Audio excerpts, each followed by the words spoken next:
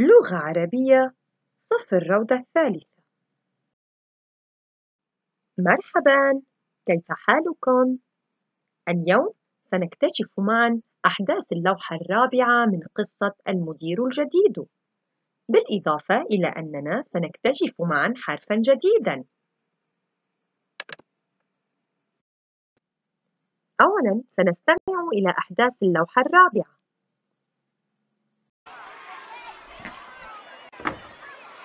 في اليوم التالي قعد الأولاد وعلمتهم ديما ألعابا أخرى. القفز على مربعات شد الحبل القفز على الحبل الغميضة.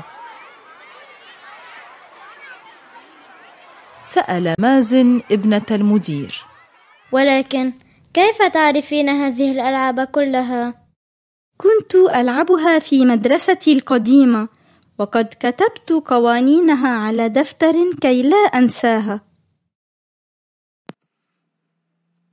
أين التلامذة الآن؟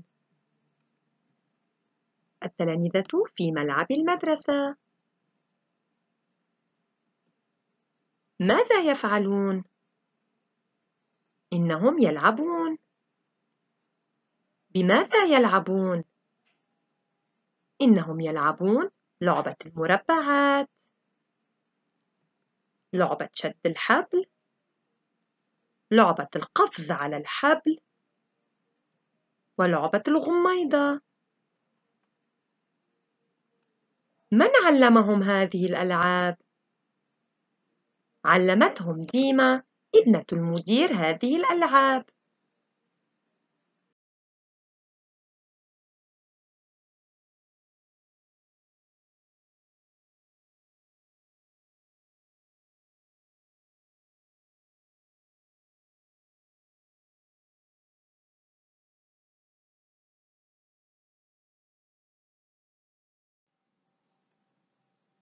ماذا فعل الأولاد في اليوم التالي؟ في اليوم التالي قعد الأولاد وعلمتهم ديما لعبة شد الحبل. سأعيد قراءة الجملة. في اليوم التالي قعد الأولاد وعلمتهم ديما لعبة شد الحبل. والآن حان دوركم لقراءة الجملة.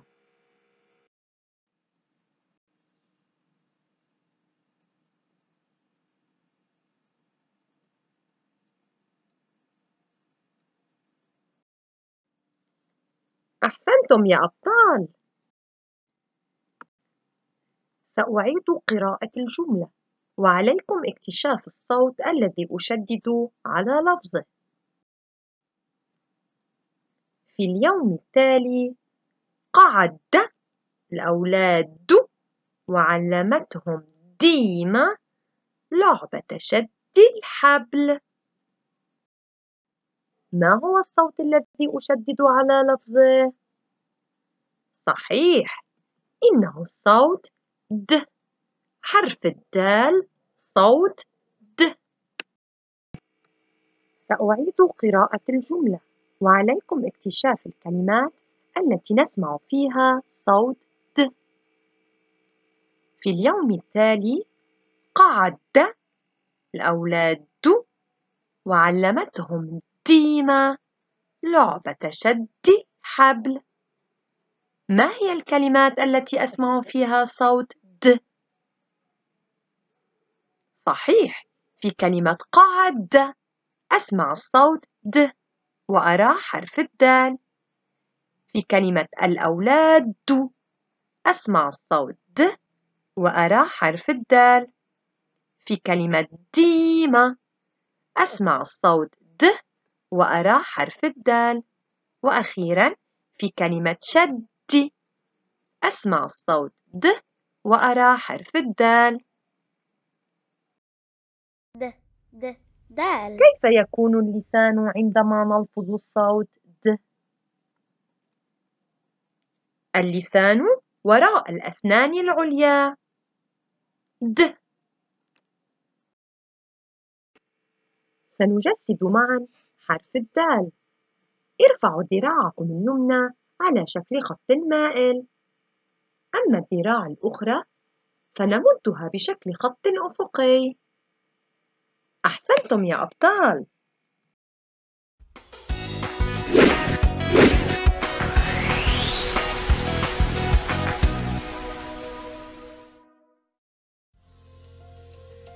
حرف الدال.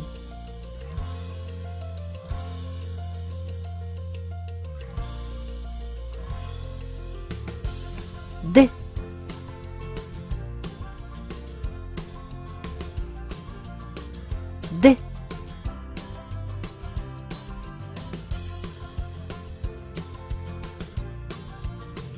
د.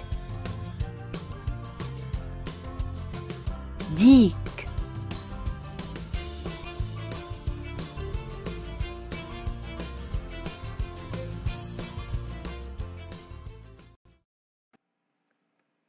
سأعرض عليكم بعض الكلمات التي أسمع فيها صوت د د مثل دب د مثل دولاب د مثل دمية د مثل دائرة د مثل دواء. والآن حان دوركم. عليكم أن تخبروني في أي كلمة سمعنا الصوت د فكروا جيدا. في كلمة دراجة أو في كلمة ريشة. صحيح في كلمة دراجة. أسمع الصوت. د. في كلمة كلب أو في كلمة دجاجة. رائع. في كلمة دجاجة. أسمع الصوت. د. في كلمة باب أو في كلمة درج. ممتاز! في كلمة درج. أسمع الصوت د. كيف هو شكل حرف الدال؟ شكله شكل خط مائل من الأعلى إلى الأسفل ويتصل بخط أفقي. ماذا يشبه حرف الدال؟ يشبه الديك.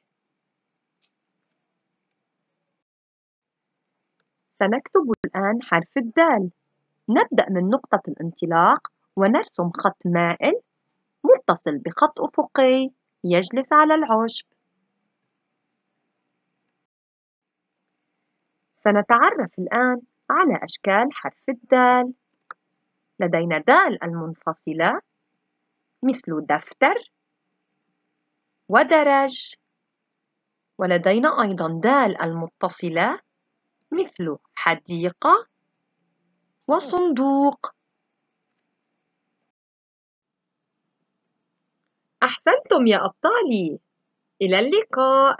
أراكم في الحصة القادمة.